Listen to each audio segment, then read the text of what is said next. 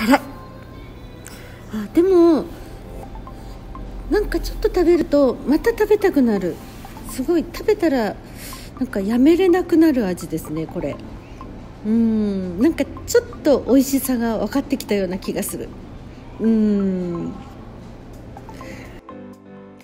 こんにちは。今日はヨッキトッポッキっていう韓国の代表的なおやつを紹介したいと思います。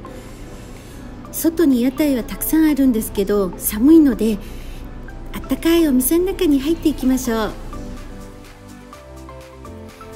ヨッキっていう言葉があるんですけどこれは日本ではちょっと猟奇的事件とか悪い意味で使われるんですけどここではちょっと面白いコメディっぽい感じで使われています。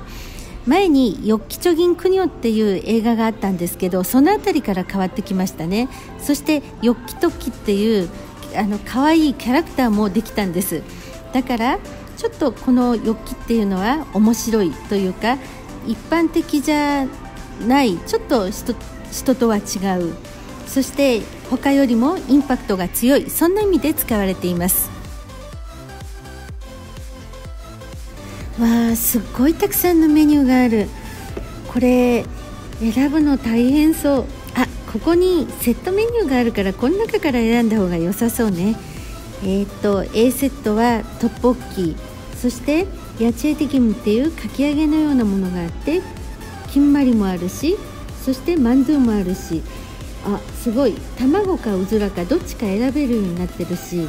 ああとクールピースっていうピーチネクターみたいな飲み物までついてる。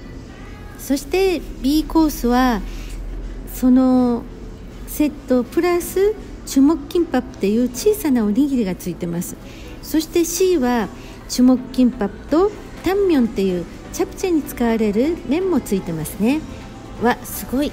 このファミリーセットっていうのはすごいたくさん量がありそう。トッポッキーとそして炭焼きのタッパルもついてますね。そしてクールピースにチュモッキンパップがついてます。え、ー、とセット ABC は3人から4人で食べても十分じゃないかな。そしてファミリーセットは5人ぐらいで食べても大丈夫そうです。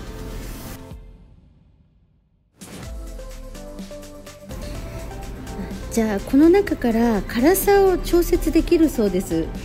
えー、っと唐辛子5つがメウンマ一番辛い味。そして4つのはオリジナル。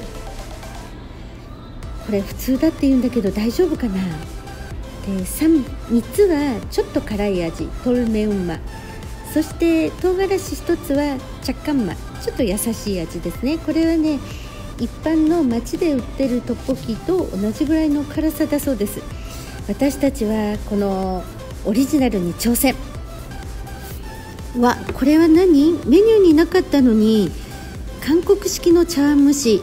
タリギャルチムとかケーランチムって言われるものが出てきましたよ。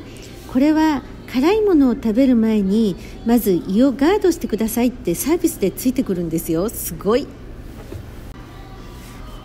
韓国のお店はおかずは無料でリフィールできますね。でここのお店もタンムジはセルフサービスです、えー、私も2回おかわりしました。わあ来た来た。これ3人で全部食べれるかな？チーズがたっぷりかかってる。チュモッキンパというのは韓国海苔の刻んだのがふりかけてある。一口おにぎりですね。あちょっと待って。今食べないでしばらく辛さを楽しんで辛くなって我慢できなくなってきた時に食べてね。わあ辛い。ダメダメダメダメこれ。もう最初から。あでもこれ一番最初トッポキを食べる人は唐辛子一つの優しい味から始めた方がいいと思います。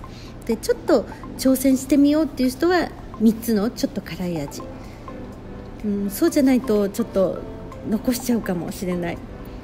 でも私たち全部食べましたよ。わあすごい。ごちそうさまでした。じゃあ今度はまたタッパルをご紹介しますね。